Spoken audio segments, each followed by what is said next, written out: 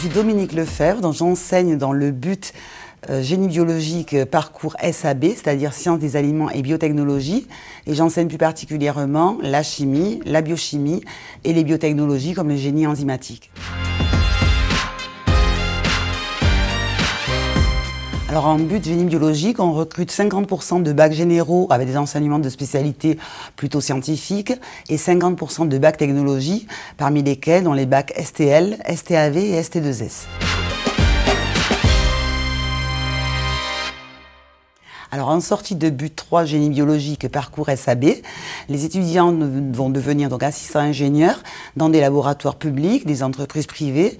Les secteurs concernés sont euh, essentiellement les secteurs cosmétiques, pharmaceutiques, alimentaires et tous les secteurs des biotechnologies.